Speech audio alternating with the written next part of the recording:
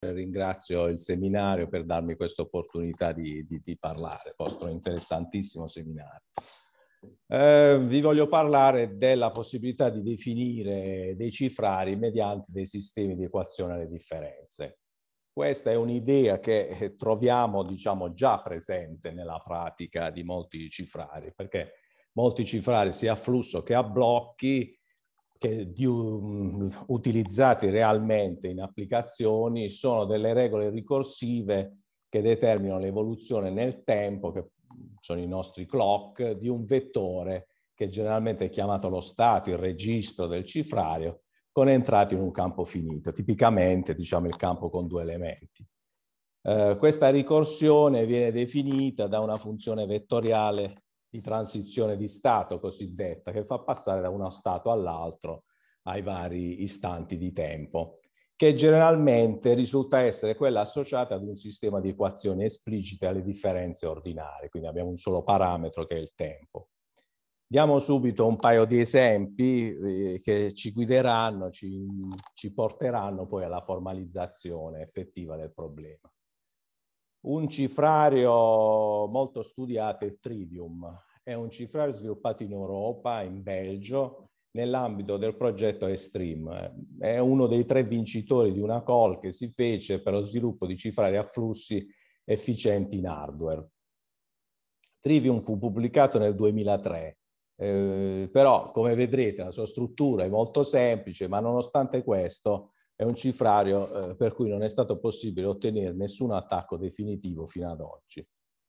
Le equazioni diciamo, che definiscono l'evoluzione dello stato di trivium sono queste semplici tre equazioni esplicite perché vedete che diciamo, abbiamo alla, a questo membro una singola variabile, sono tre equazioni quadratiche. Io utilizzo questa notazione diciamo, di tipo funzionale, ma ovviamente queste sono delle successioni. Le soluzioni del sistema sono di queste tre equazioni quadratiche di questo sistema, sono eh, terme di funzioni x, y, z, sono di fatto delle successioni dai numeri naturali verso il campo con due elementi. Siccome abbiamo delle equazioni a differenze di tipo esplicito, ovviamente abbiamo un teorema eh, di esistenza unicità semplice, cioè abbiamo una corrispondenza uno a uno fra le soluzioni allo stato iniziale del sistema che eh, sono questi 288 bit perché nelle equazioni vediamo che i termini a questo membro sono 93, 84, 111, quindi lo stato iniziale è formato da 93 più 84, 111, 288 eh, bit. E indichiamo con VT eh, un generico stato al clock T della, del nostro sistema che definisce Trivium. Quindi la funzione di, di, transizione di stato per Trivium è la mappa vettoriale che fa passare da questo valore di registro, dal registro a un certo istante t al registro all'istante t più 1. Si tratta di una mappa polinomiale perché le equazioni sono polinomiali, vabbè, ma diciamo sui campi finiti tutte le funzioni sono polinomiali. La chiave e il vettore iniziale di, di Trivium costituiscono 80 più 80, 160 bit dello stato iniziale. Quindi sui 288 bit, 128 bit sono prefissati, sono dei valori 0,1 prefissati. Accanto al sistema delle differenze che definisce l'evoluzione diciamo, dello stato in Trivium abbiamo un polinomio, il cosiddetto polinomio di Keystream. Nel caso di Trivium un polinomio lineare perché il sistema è quadratico, quindi va bene anche un polinomio lineare, e il, il keystream eh, definito da questo eh, cifrario è il valore che assume questo polinomio sullo stato Vt, è il valore che assume il polinomio sul, sul registro all'istante al clock t. Il keystream per eh, Trivium va in output dopo il tempo t grande che è 4 volte 288, quindi eh, l'output, il keystream va in output dopo 1152 eh, clock e questo diciamo è una, una scelta tipica per questi cifrari perché serve a proteggere la chiave della cifratura che è lo stato iniziale del sistema. Una variante di Trivium eh, studiata in crittanalisi è Bivium dove si è ridotto il sistema da tre equazioni a due equazioni e il polinomio di keystream si riferisce soltanto queste, alle variabili di queste due equazioni. Qui abbiamo 177 bit come registro e l'output è dopo il valore 4 volte 177, 708 clock. E questa è una rappresentazione, diciamo, grafica di Trivium e del suo sottosistema Bivium, solo che qui eh, troviamo A, B e C al posto di X, Y e Z. Notiamo che le funzioni di transizione di stato di Bivium e Trivium sono funzioni invertibili, quindi è possibile calcolare lo stato iniziale, dove c'è la chiave, a partire da un qualsiasi stato. Questa è una potenziale vulnerabilità, diciamo, di un, un cifrare a flusso di questo genere, cioè avere la funzione di transizione di stato invertibile. D'altra parte però diciamo, l'invertibilità della funzione di transizione di stato insieme alla riducibilità del sistema può costituire una risorsa per definire eh, un cifrario simmetrico, un cifrario a blocchi anziché un cifrario a flusso. Un sistema invertibile contenente un sottosistema quindi definisce un cifrario simmetrico a blocchi. Lo stato iniziale eh, del sottosistema è la chiave di cifratura lo stato iniziale del sistema è la chiave di cifratura più il plaintext. Se è fissato un certo clock T finale, lo stato finale, diciamo, del sistema al clock T è costituito, dall'evoluzione della chiave e soprattutto dal, dal ciphertext, che è costituito appunto dal vettore VT. Quindi per decifrare, utilizzando il sottosistema di chiave, uno a partire dalla chiave U0 può calcolare UT, avendo a disposizione UT e VT, dove VT è il ciphertext, utilizzando il sistema inverso si può tornare allo stato iniziale U0V0 e quindi V0 sarà il plaintext si può decifrare. Questa idea, per esempio, si trova nel cifrario Keylock, è un cifrario abbastanza importante che è stato utilizzato nei transponder a radiofrequenza per le auto, nell'industria automobilistica, per apertura di porte, eccetera. Un vecchio brevetto del 1995 venduto per 10 milioni di dollari, che però è stato crittanalizzato in modo critico nel 2008. Come sistema di equazione di differenze, Keylog è il risultato, diciamo, è definito da queste due equazioni, di cui una cubica, e la prima lineare, quindi un LFSR, un linear feedback shift register, un'unica equazione lineare è quella che determina l'evoluzione di chiave. Questa è un po' la sua debolezza, perché quest'unica equazione lineare ha un periodo eh, piccolo. Quindi il sottosistema di chiave è costituito da questa singola equazione, quindi abbiamo la chiave che sono 64 bit e 32 bit sono il, uh, il plain text e il ciphertext. Il clock finale sono 8 volte 64 più 16, 528 clock. Quindi la chiave è lo stato iniziale del sottosistema di chiave, quindi questi 64 bit K, e il plain text e il ciphertext si riferiscono alla variabile X. E la vulnerabilità, l'ho detto, è il fatto che il, il, periodo è breve, 64, per la funzione di transizione di stato e questo permette un attacco di tipo meet in the middle. E questo è uno schema in cui nella parte inferiore vediamo il sottosistema di chiave di Keylog. Veniamo alla formalizzazione. Se abbiamo un sistema di equazione a differenze eh, di tipo algebrico, polinomiale, ma abbiamo detto che sui campi finiti tutte le funzioni sono polinomiali, la formalizzazione corretta è quella che risale, che corrisponde alla nozione di algebra alle differenze.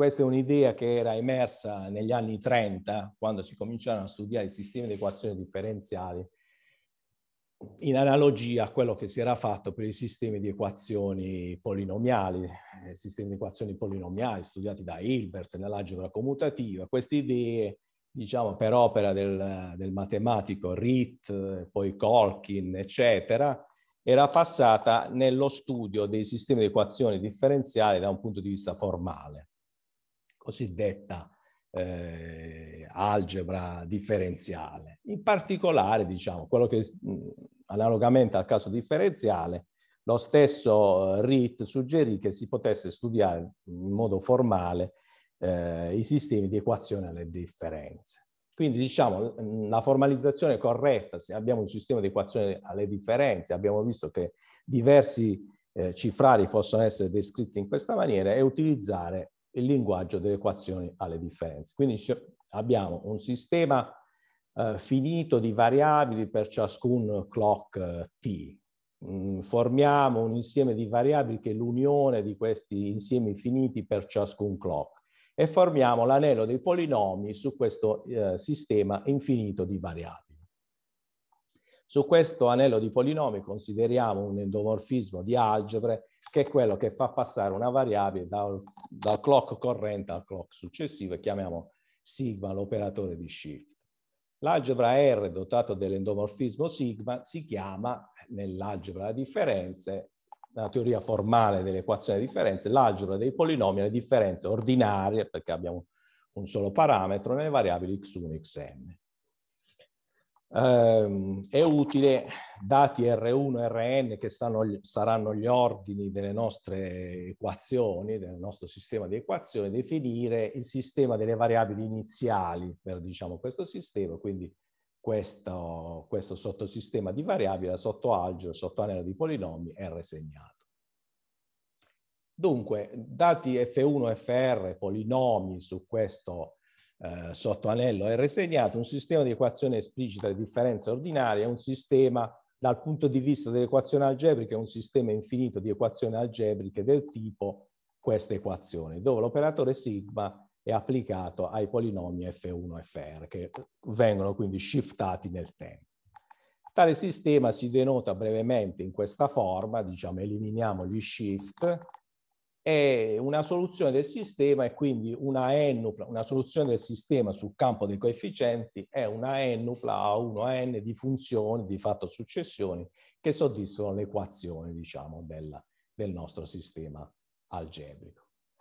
Per ogni sistema è importante definire il corrispondente endomorfismo di algebre, che è quello che fa passare le variabili dal clock 0 al clock successivo, cioè x, eh, la variabile xi0 viene mandata nella variabile xi1 e così via, fino alla variabile xir con i meno 1 che viene mandata nel polinomio f con i a questo endomorfismo di algebra, a questo punto di vista, diciamo, per questa mappa come endomorfismo di algebra, corrisponde la funzione polinomiale corrispondente, che sostanzialmente è quella che fa passare da un, dal registro al clock t al registro al clock t più 1. E Vt eh, per la soluzione A1 a n è quello che noi chiamiamo lo stato o il registro della soluzione chiamiamo T segnato l'endomorfismo di transizione di stato e T la funzione di transizione di stato associata al sistema di equazione differenze eh, 1, chiameremo sempre 1 questo sistema di equazione differenze esplicite ordinarie. Se denotiamo con VK l'insieme di tutte le soluzioni del sistema, allora chiaramente abbiamo una bigezione fra l'insieme delle soluzioni e gli stati iniziali, cioè abbiamo un teorema di esistenza e unicità che ci dice che, diciamo, appena assegnata la condizione iniziale per questo sistema di equazioni eh, alle differenze, resta definito in modo univoco la, la, soluzione del sistema. Ed è interessante osservare che queste funzioni che mappano le soluzioni sui loro stati iniziali sono funzioni polinomiali, una funzione polinomiale insieme alla sua inversa.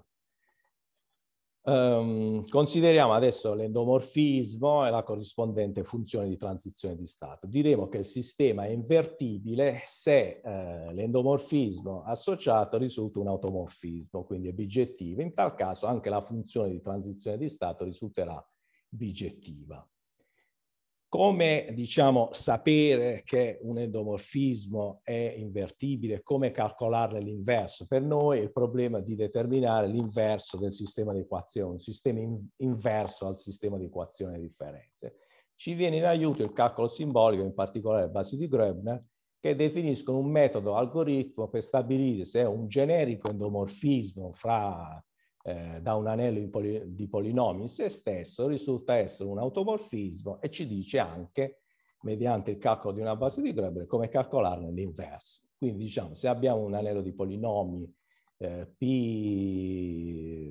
sulle variabili x1 xr, ci viene comodo prendere una copia, abbiamo l'endomorfismo φ che manda eh, le variabili x con i nel polinomio g con i, quindi un generico endomorfismo, eh, definiamo un ideale corrispondente come xi', questa coppia della variabile meno g con i, eh, formiamo l'anello dei polinomi in entrambi i set di variabili x1, xr, x1', xr', e mediante un ordinamento monomiale che, mm, eh, diciamo, nel quale i monomi sulle variabili x sono più grandi dei monomi sulle variabili x', mediante il calcolo di una base di Greber, noi sappiamo se l'endomorfismo è invertibile oppure no e sappiamo calcolarne l'inverso. Se la base di Greber dell'ideale J è di questa forma, x1 meno g1', xr meno gr', vorrà dire che eh, l'endomorfismo è invertibile e l'inverso sarà definito come x1 xi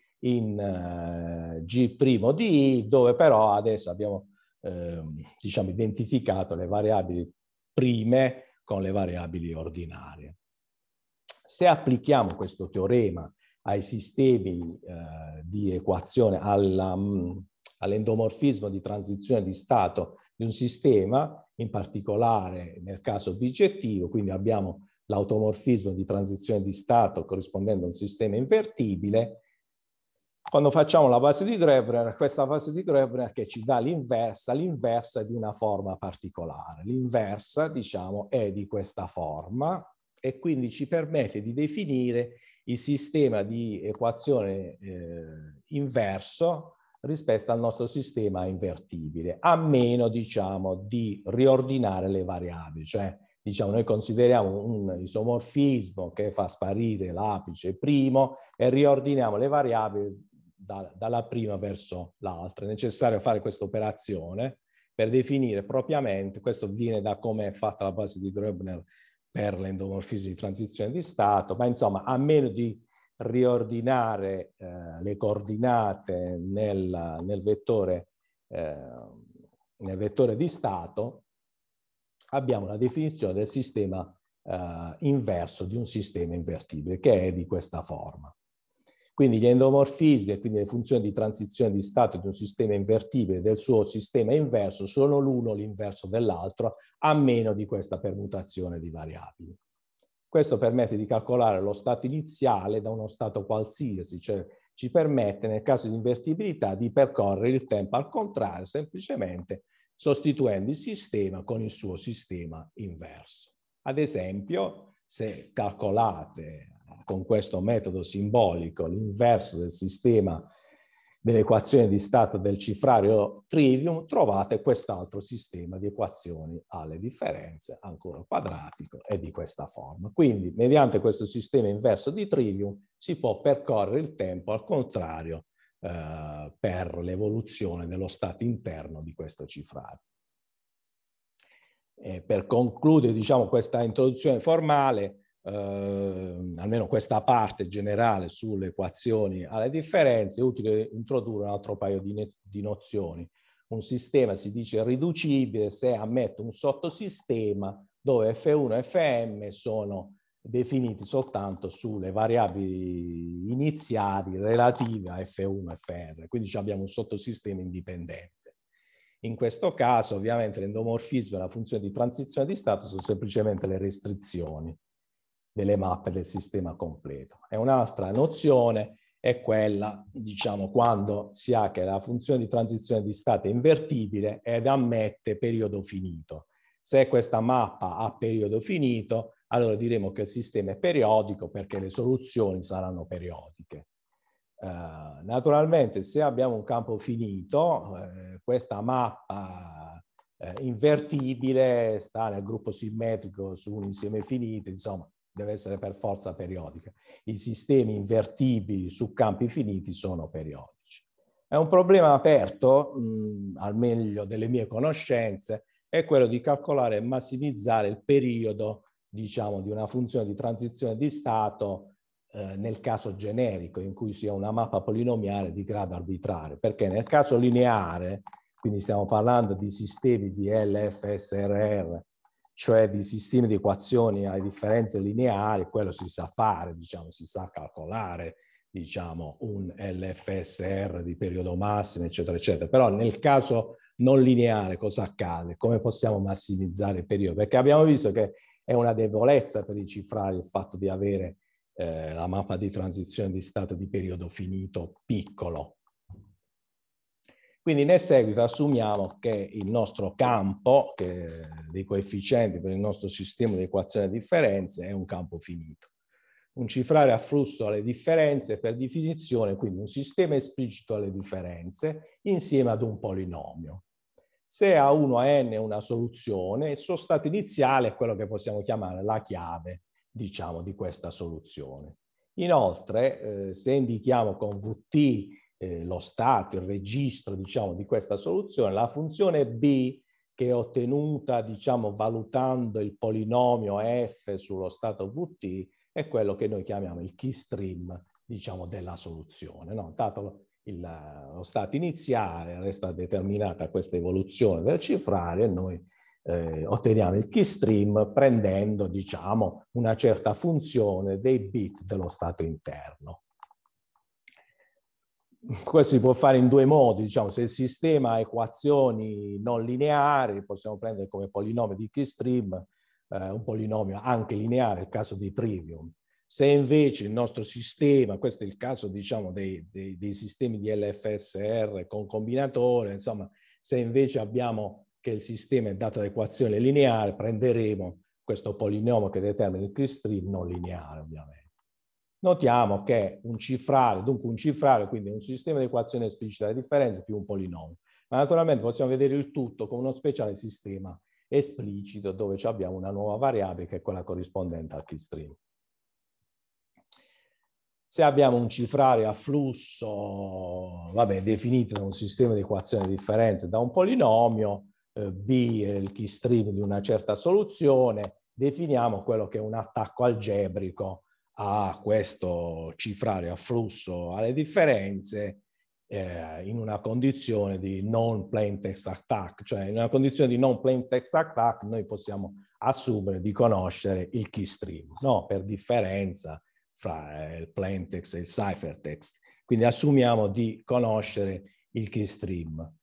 Quindi cosa vogliamo fare? Noi vogliamo sostanzialmente conoscere quali sono le soluzioni, meglio ancora, quali sono le chiavi compatibili con quel dato keystream. Quindi andiamo a imporre delle equazioni, quindi diciamo formalmente definiamo l'ideale J definito da, queste, da questi polinomi che sono le equazioni soddisfatte diciamo dalle soluzioni quando queste soluzioni danno luogo esattamente a un keystream dato. Quindi il nostro problema sarà quello di calcolare diciamo, le soluzioni del nostro sistema di equazione di differenze che sono compatibili con questa condizione, cioè che producono un dato keystream a partire da un certo clock t, perché abbiamo visto che nei ciphertext l'output avviene per il keystream avviene da un certo clock t in poi. In altri termini, diciamo, se consideriamo l'ideale alle differenze associate al sistema, che è questo, vogliamo andare a calcolare le soluzioni sul campo dei coefficienti, l'insieme delle soluzioni sul campo dei coefficienti, diciamo, della somma dell'ideale che corrisponde al sistema di equazione di differenze e dell'ideale che corrisponde alla condizione che stiamo imponendo, che il keystream è dato. Quindi questo, noi diciamo siamo interessati più che alla varietà delle soluzioni del sistema che sono compatibili con il keystream dato agli stati iniziali di queste soluzioni, cioè alle chiavi che sono compatibili con il keystream, che tipicamente ce ne sarà eh, solo una, avremo una sola chiave compatibile con un keystream dato, eh, dato un numero sufficiente di, di bit del keystream, noto un numero sufficiente di valori nel keystream. Quindi potrebbe essere conveniente, anziché studiare le equazioni, diciamo, per le soluzioni, studiare le equazioni per le chiavi, per gli stati iniziali. Eh, questa varietà, cioè l'insieme delle soluzioni, l'insieme delle chiavi che sono compatibili con il keystream, naturalmente l'immagine eh, dell'insieme delle soluzioni che sono compatibili mm, con il keystream sotto questa bigezione che mappava sugli stati iniziali. Ma noi vogliamo le equazioni.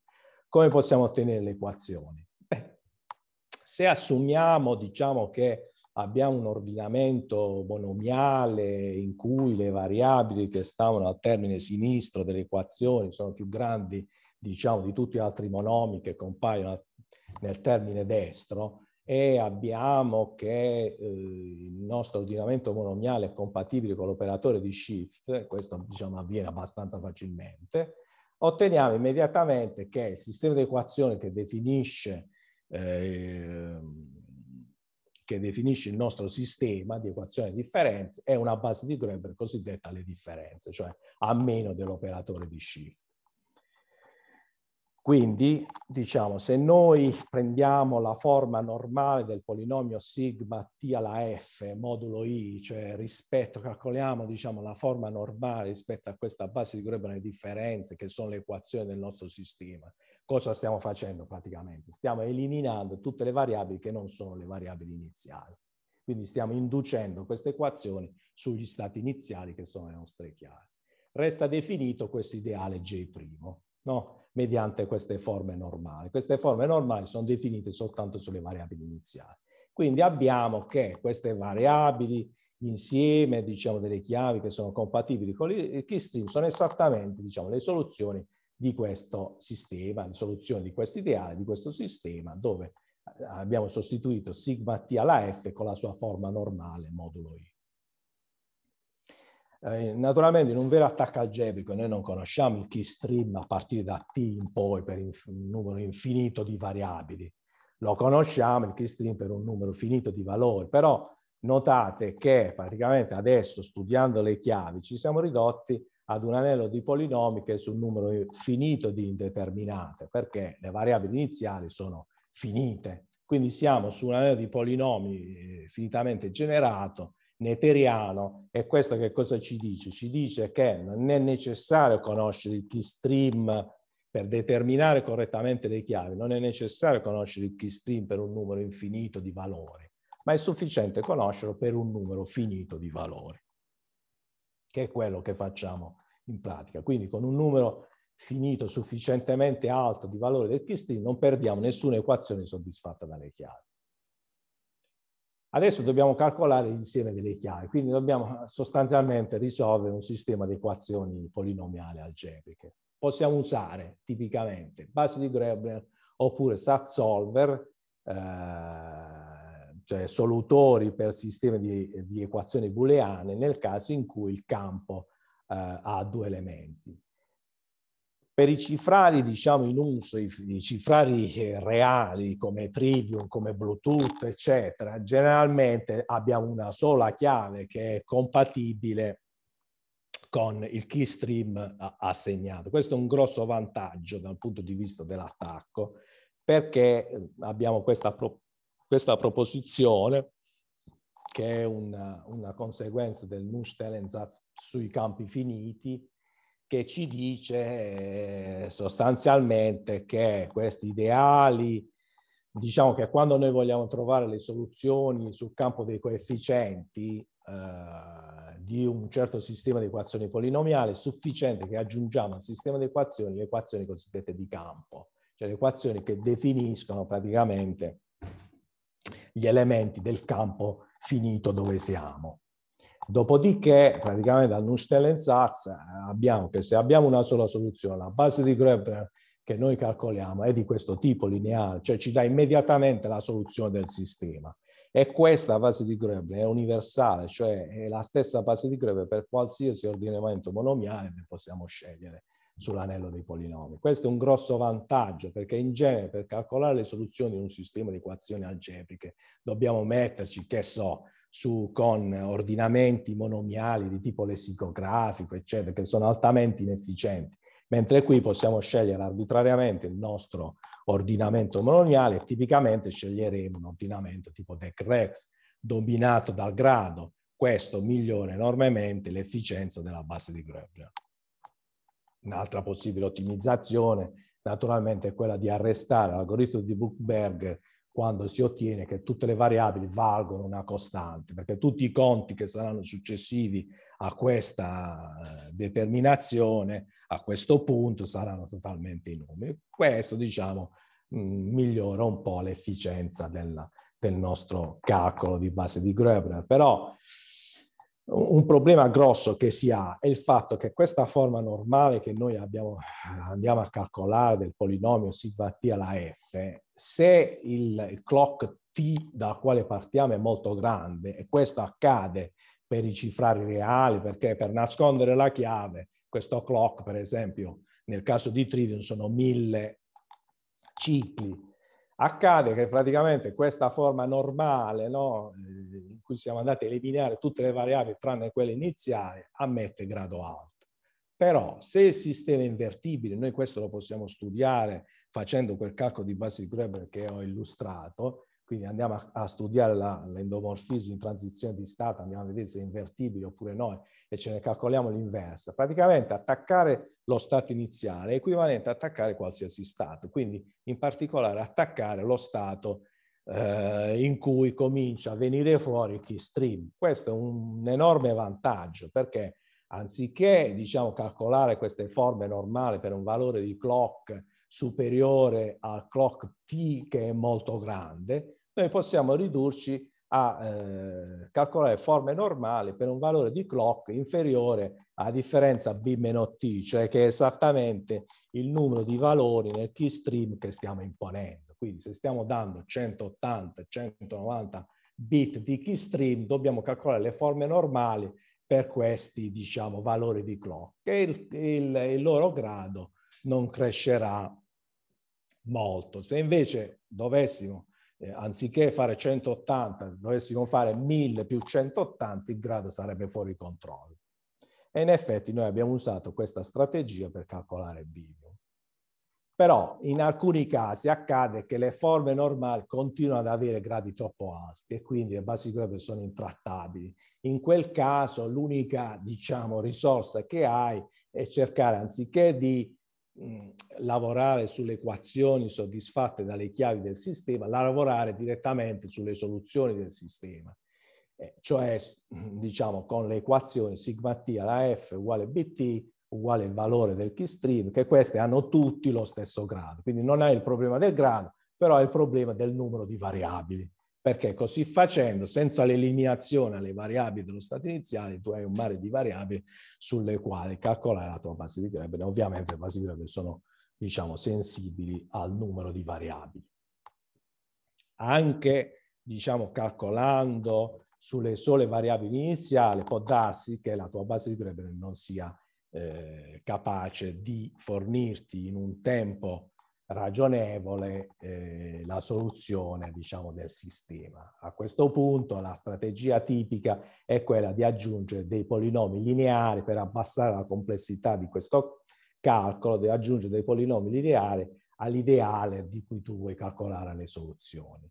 Questi polinomi lineari possono essere o già degli elementi di J che sono noti oppure calcolati. Per esempio, nel caso di un attacco a bivium, trivium, noi abbiamo che il polinomio di keystream è un polinomio lineare, quindi diciamo questo induce delle equazioni lineari che noi possiamo utilmente utilizzare quando cerchiamo di risolvere. Oppure, diciamo, tu aggiungi altre equazioni lineari come assegnazioni, dici vabbè, io considero un sottoinsieme di variabili dell'insieme completo di variabili x1, xr e dico, attribuisco dei valori arbitrari a queste variabili. Quindi diciamo, riduco il numero di variabili con il quale devo calcolare, sul, sul, sul, quale devo calcolare la base di Gröbner. Naturalmente, diciamo, eh, nel caso in cui tu hai una singola soluzione, diciamo, queste assegnazioni saranno tutte errate, eh, eccetto che una. Però le basi di Gröbner, quando eh, il sistema eh, è incompatibile, quando diciamo ehm, la soluzione, non ammette soluzioni, si comportano abbastanza bene perché eh, diciamo, la base di Gröber si arresta non appena l'elemento 1, non appena tu trovi una costante, eh, riesci a ottenere una costante manipolando queste equazioni. No? Il sistema è inconsistente, quindi otterrai un'equazione del tipo 0 uguale una costante diversa da 0. Mentre invece se utilizzi un SAT solver, la risposta unsat, cioè che non c'è soddisfacibilità per il sistema di equazione booleane, sostanzialmente la ottieni quando hai an analizzato l'intero spazio, quindi risulta eh, diciamo abbastanza impegnativo arrivare alla risposta di non soddisfacibilità, mentre dal punto di vista dell'equazione del calcolo simbolico questo si ottiene abbastanza bene. E abbiamo visto anche in pratica che le basi di Gröbner, nel caso di assegnazioni errate, che sono tutte tranne una, perché c'è una sola assegnazione corretta e tutte le altre sono errate, eh, di fatto nei nostri esperimenti le Gröbner risultano essere più efficaci. Questa idea di risolvere un sistema algebrico mediante l'assegnazione esaustiva di un sottoinsieme di variabili si chiama una guess and determine o gli autori francesi la chiamano hybrid strategy e naturalmente la complessità di una strategia di questo genere è quale S per tau dove S è il numero di variabili che tu hai scelto di assegnare, Q è il numero di elementi del tuo campo finito, tipicamente 2, e tau è il tempo di calcolo medio per una singola base di Greber. Cioè devi calcolare una sola base di Greber, non riesci a calcolarla, diciamo, baratti quest'unica base di Greber con tante basi di Greber, sperando che questo numero S di variabili che tu devi assegnare in maniera esaustiva non sia troppo grande. Naturalmente assumendo che la soluzione la trovi nella metà dello spazio, scendi a questa complessità, però diciamo la complessità è fortemente influenzata dal valore S di variabili che tu devi assegnare, naturalmente dal tempo medio di calcolo, però diciamo se assegni un numero abbastanza grande di variabili, questo tempo di calcolo medio per le basi di Greber non, non sarà molto alto. Quindi diciamo un'ottimizzazione fondamentale qua è la scelta delle variabili che devi assegnare, perché scegliendo delle variabili piuttosto che altre può cambiare completamente la performance dell'algoritmo e il fatto anche che tu puoi parallelizzare perché stai calcolando tante basi di Greber, quindi queste basi di Greber le puoi mandare in parallelo fin tanto che non trovi la soluzione. Per l'attacco algebrico che abbiamo condotto a Bivium abbiamo assegnato in maniera esaustiva 38 variabili. Siccome c'erano le, le, equazioni del keystream, di fatto tenevamo l'assegnazione la di 60 variabili sul totale di 177 variabili di stato, perché diciamo il vettore di stato erano 177 bit nel caso di Bivium, 288 nel caso di Trivium. Le restanti 117 variabili sono state risolte mediante base di Gröber e SAT solver. Abbiamo voluto realmente diciamo, confrontare l'efficienza dei basi di Gröber rispetto ai SAT solver. Uh, come base di Gröber abbiamo utilizzato due implementazioni che si trovano nel sistema di calcolo simbolico singolo che sono di pubblico dominio, cioè singolare di pubblico dominio, quindi potete utilizzare basi di Gröber senza alcuna licenza e come SAT solver lo stesso, abbiamo utilizzato due SAT solver molto utilizzati in crittografia che sono pure questi mm, mm, diciamo dati senza licenze, sono Minisat e Crypto Minisat e il tempo totale di calcolo, il running time qui è 2 alla 34 secondi su un singolo processore. Ma naturalmente l'attacco può essere parallelizzato, quindi diciamo significa che Bivium si può attaccare realmente. Questo è uno schema in cui noi diciamo, abbiamo provato diverso, un numero diverso di keystream, abbiamo assegnato, utilizzato per l'equazione un numero diverso di bit nel keystream, 180 ci garantiscono una sola chiave, abbiamo provato 180, 185, 190, 195 per vedere qual era la scelta più efficace.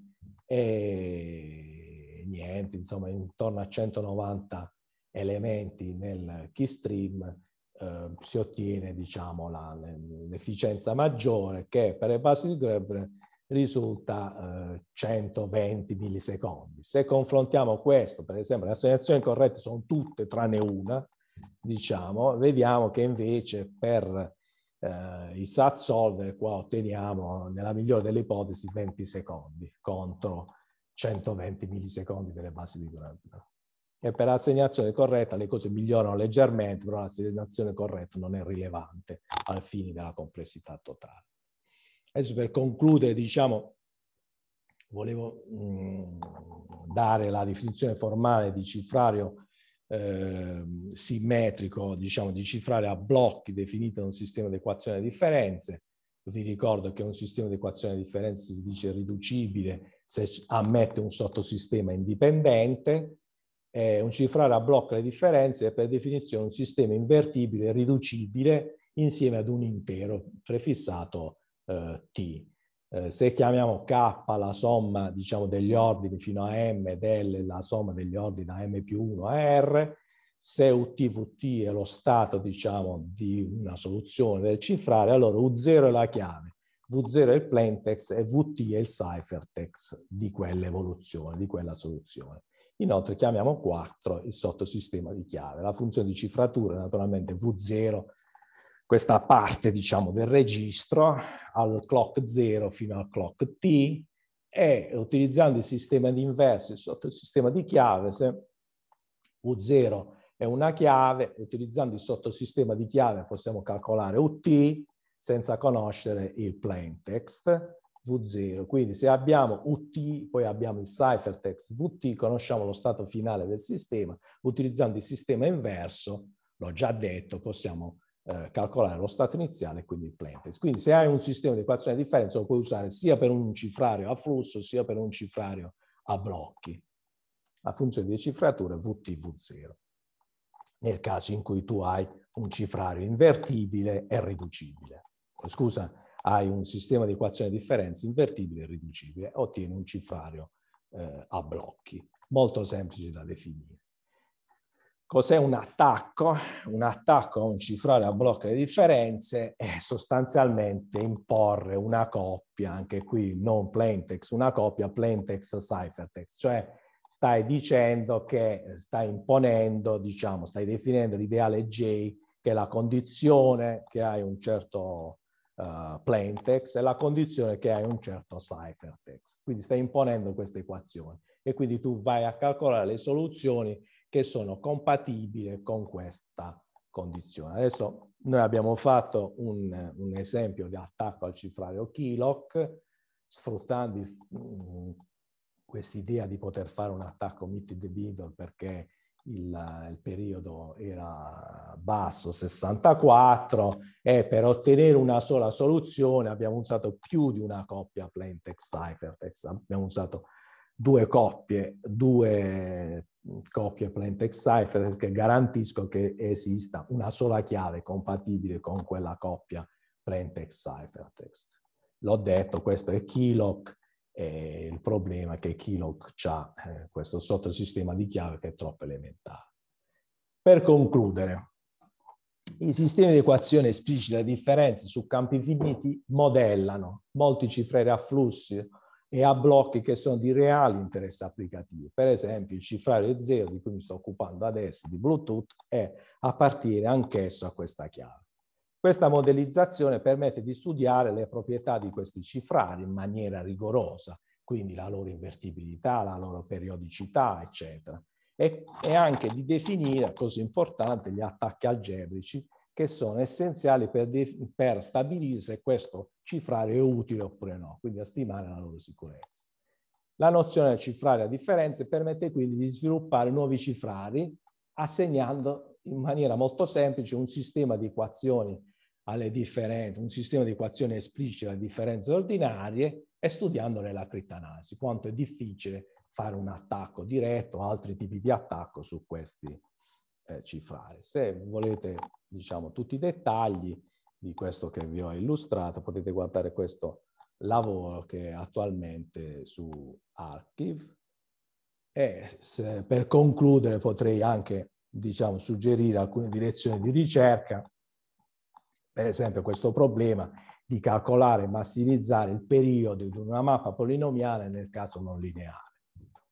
Questo è necessario perché, diciamo, se tu vuoi un sottosistema di chiave eh, sicuro, devi mettere un sottosistema di chiave che abbia un periodo sufficientemente grande.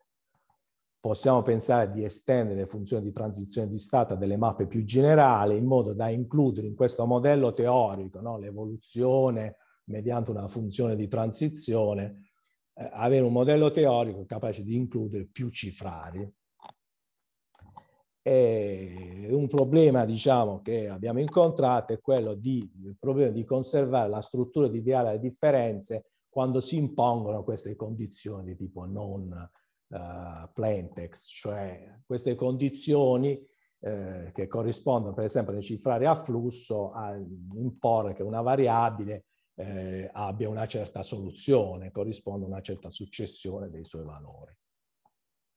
Perché diciamo se riusciamo a mantenere la struttura di ideale differenze, si noti che esistono le basi di Groeber nelle differenze, oppure gli insiemi caratteristici, che sono dei solver più efficienti delle basi di Groeber, perché si sfrutta, diciamo, nella risoluzione delle, delle equazioni, la struttura di equazione differenze, cioè il fatto che queste equazioni sono invarianti rispetto all'azione per shift, diciamo, dell'operatore di shift. E questa è un'informazione rilevante che può essere utilizzato quando si calcola, per esempio, una base di Greber al fine di risolvere il sistema. E con questo ho concluso e vi ringrazio per l'attenzione.